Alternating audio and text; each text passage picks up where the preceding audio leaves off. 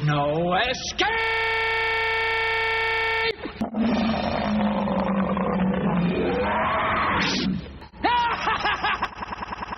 no! Rawhead.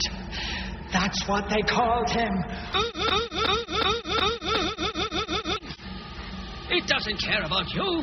When it's finished with you, what will it do with you? Kill me. I hope.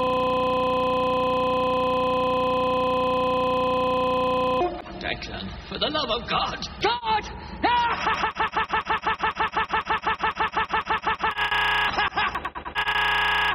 Get upstairs, fuckface! Rawhead!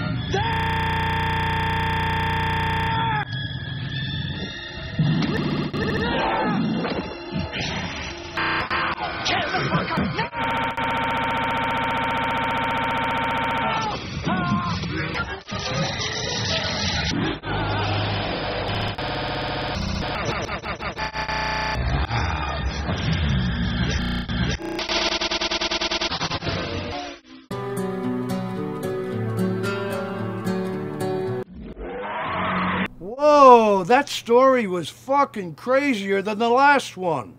Believe.